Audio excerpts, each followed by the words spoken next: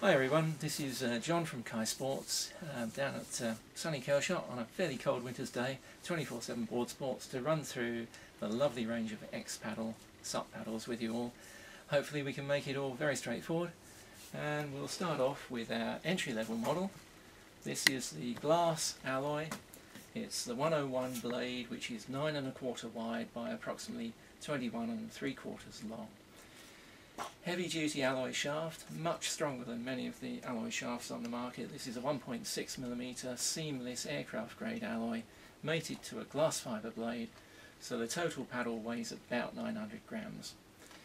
It's a very, very nice paddle to, to work with. The blade shape is absolutely beautiful. You get the same shape as you will on our carbon ones. But the shaft is very, very stiff on this model. If I move back here and just lean on it, and I'm 110 kilos and I'm pulling pretty hard. So you can see that that's a very stiff shaft. It's going to give you an enormous amount of drive. So this paddle, around about 90 quid, gives you a great start on your supping.